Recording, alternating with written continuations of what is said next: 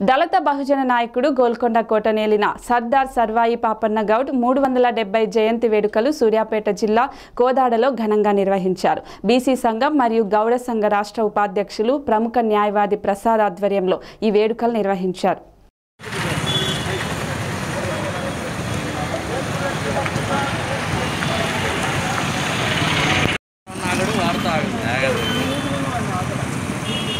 పాపాయ్ గౌడ్ గారికి జోహార్లు సర్దార్ పాపాయ్ గౌడ్ గారికి సర్దార్ సర్వయ్య పాపాయ్ గౌడ్ గారికి జోహార్లు సర్దార్ పాపాయ్ గౌడ్ గారికి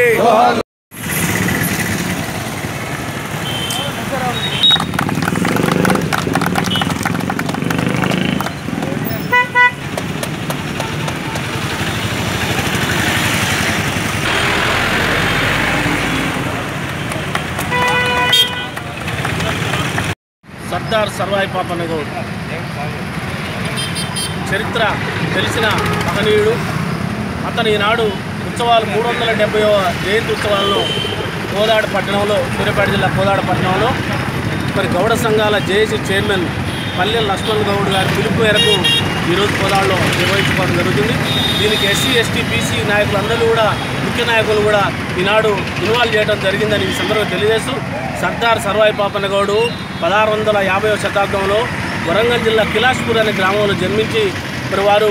చెట్లు ఎక్కుతుంటూ జీవనం కొనసాగిస్తున్న క్రమంలో చెట్లు ఎక్కి ఏమొస్తుంది కళ్ళు తీస్తే ఏమొస్తుంది కొడితే గోల్కొండ కోటనే కొట్టాలి ఈ పీడిత ప్రజలను ఆదుకోవాలని చెప్పి దృఢ సంకల్పంతో